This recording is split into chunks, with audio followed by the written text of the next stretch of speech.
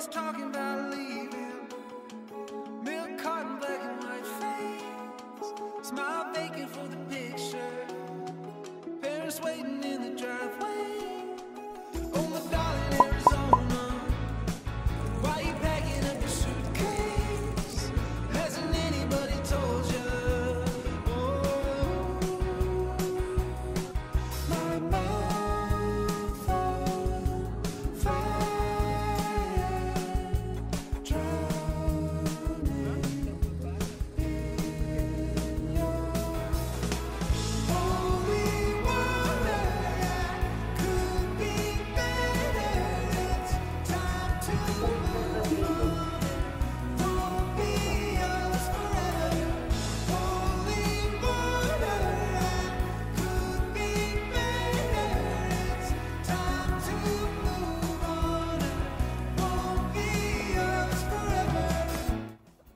Oi, gente, sejam bem-vindos a mais um vídeo aqui no canal. Eu sou a Mari e hoje eu gravei um story vlog pra vocês. Acho que foi um dos melhores que eu já gravei. Eu tô super animada e super feliz. Só de estar editando, eu já tô com fome por todas essas ceninhas do começo. Mas situando vocês, eu tenho aula de manhã, tá? Eu não estudo sempre à tarde na faculdade, mas eu gosto muito de ficar lá, principalmente na biblioteca e principalmente de tarde, porque não tem aula à tarde na faculdade, então fica bem vazia e silenciosa, enfim, é ótimo de estudar lá de verdade. Tem Wi-Fi, tem tudo que você precisa, enfim, e como não tem muita gente, não tem gente conversando, isso não te distrai, sabe? Então é um ponto forte. Eu sempre falo isso aqui no canal, mas sempre gosto de reafirmar. Então, esse study vlog eu gravei depois da aula. Eu fui pra faculdade, cheguei no mesmo horário de sempre, praticamente 8 horas. 11h40 termina minha aula. Aí eu desci pra faculdade, pra biblioteca. Fiquei lá estudando um pouco, umas coisas do computador. Aí eu fui almoçar. E, tipo, tem um Jerônimo bem do lado da faculdade. Então, quando eu fico na faculdade, é lá que eu almoço. Tem outras opções, mas são um pouco mais longe. Como é do lado da faculdade, eu prefiro ficar lá. Aí eu voltei pra biblioteca e consegui o mesmo lugar que eu tava antes. Mas eu não tinha gravado nada sobre isso. E primeiro eu fui ver umas coisas no computador que eu precisava fazer, tipo, adiantar trabalho. Eu vou pra biblioteca não só pra estudar, mas pra trabalhar também é muito bom, que eu consigo focar, ter umas ideias melhores. É, eu acho que eu me concentro melhor no que eu tô fazendo, sabe?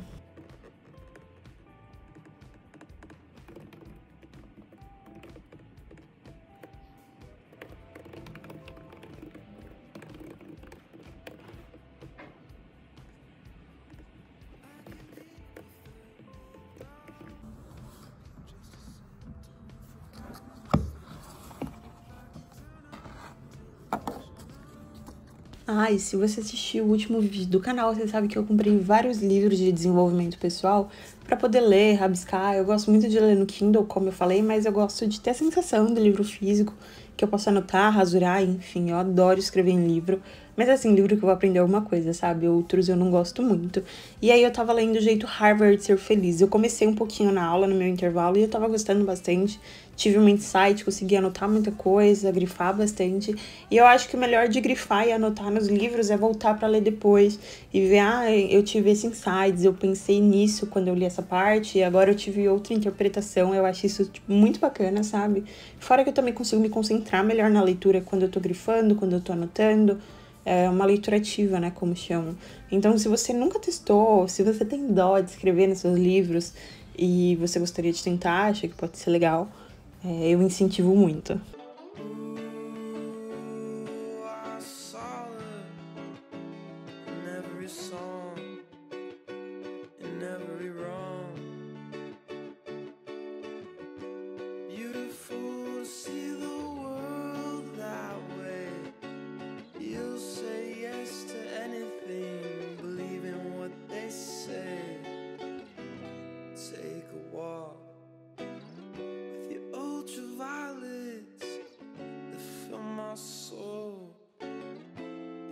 Ultraviolet, and every time I know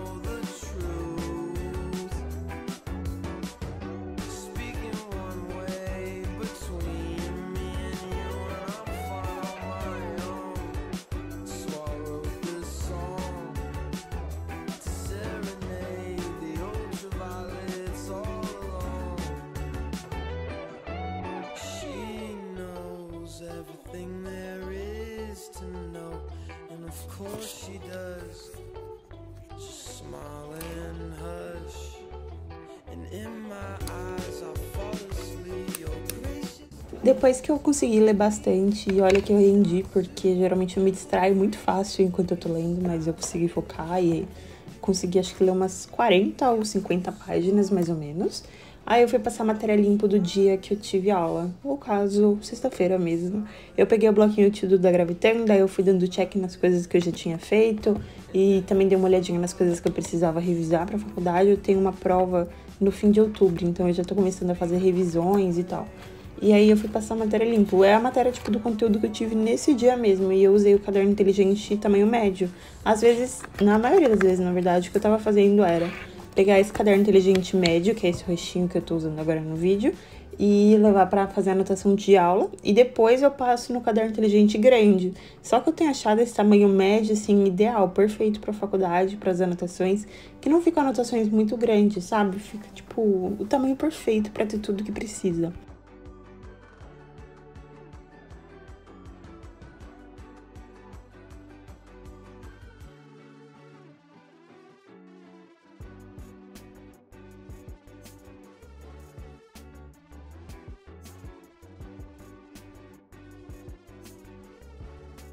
O título ficou bem bonitinho, até razoável, perto do que eu tô fazendo nos últimos dias.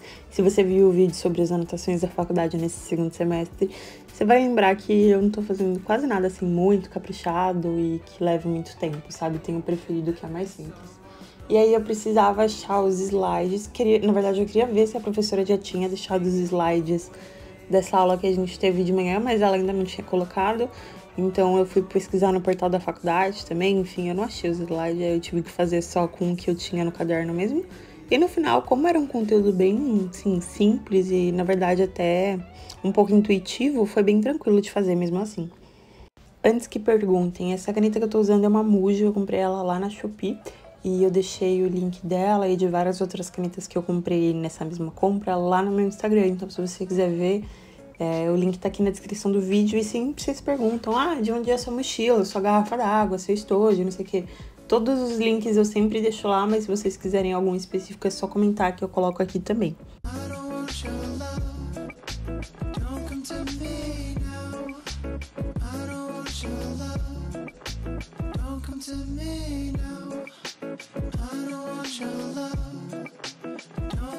I Don't come to me.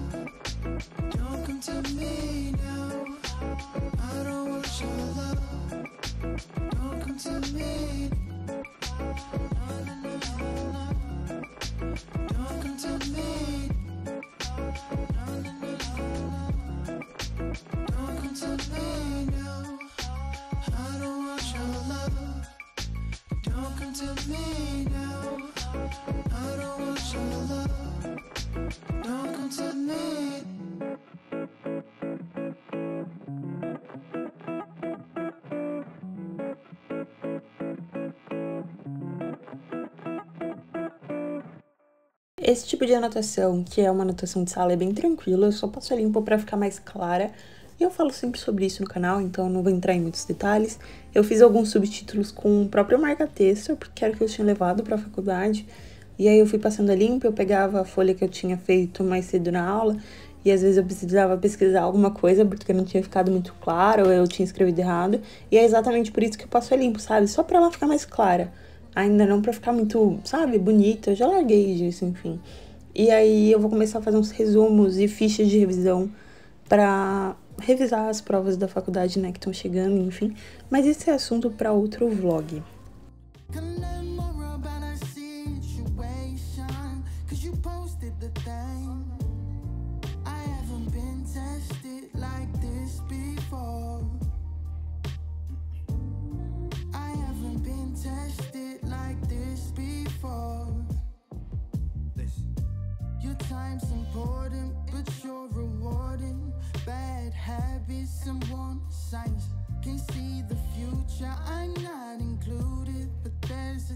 danger when you hit my line.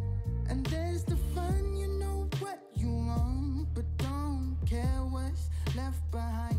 You know it's deeper than that, but I can't seem to put my pride aside. I haven't been tested like this before. No, no. I haven't been tested like this before.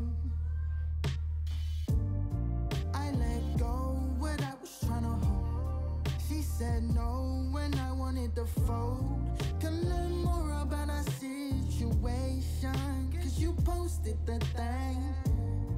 I haven't been tested like this before. I haven't been tested like this before. Your time was short lived, no replies, no desires. I don't deny I do the same from long chats to blank games. I haven't been tested like this before. I haven't been tested like this before.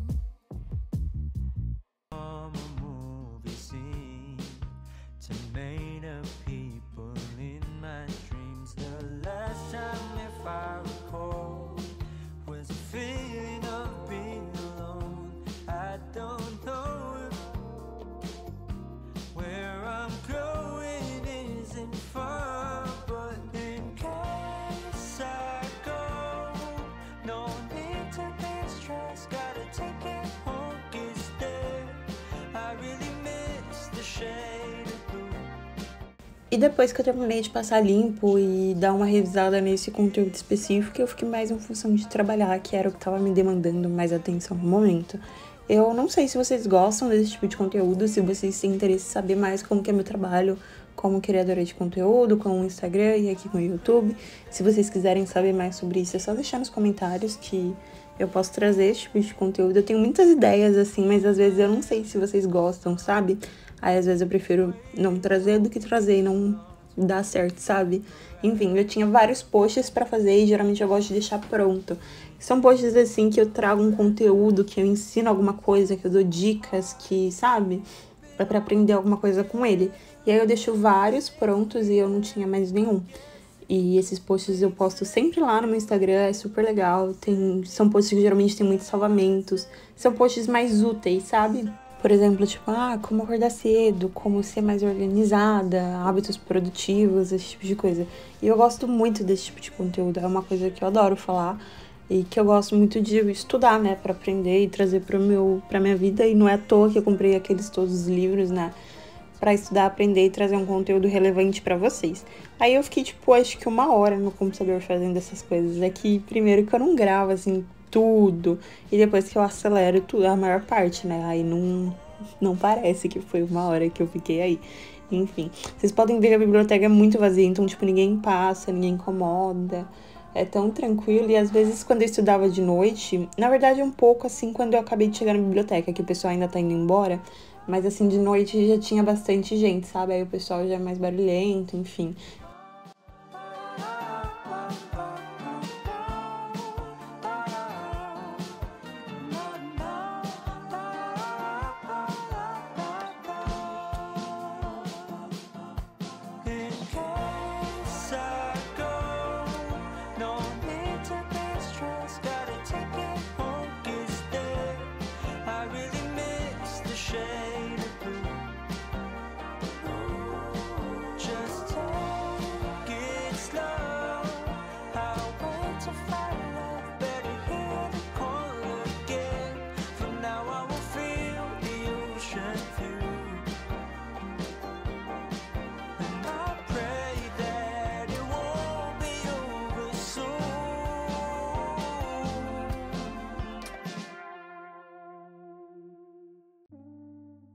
E é isso, depois eu peguei minhas coisas, eu queria que vocês vissem a bagunça que eu faço enquanto eu tô estudando. Eu até postei lá no Instagram, então se vocês quiserem dar uma olhadinha, eu vou pegando material, coloco em cima da mesa, caneta, lápis, borracha, caderno, enfim, aí geralmente eu não vou guardando, eu guardo só quando eu termino. Enfim, aí eu fui arrumando tudo e fui para casa, pegar ônibus, metrô, esse tipo de coisa, vocês sabem, né? Eu gosto de ler no caminho para casa, por isso que eu não gravei muito. Mas esse foi o vídeo, eu espero muito que vocês tenham gostado e até a próxima.